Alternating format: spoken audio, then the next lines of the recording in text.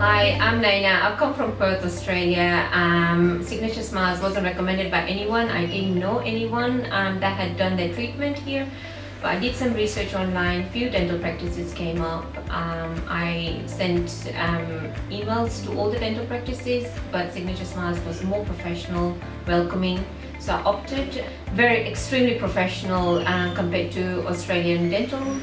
Um, and I thought I'll give it a shot with my treatment. So I got um, veneers done, three dental implants, bone grafting, and sinus lift.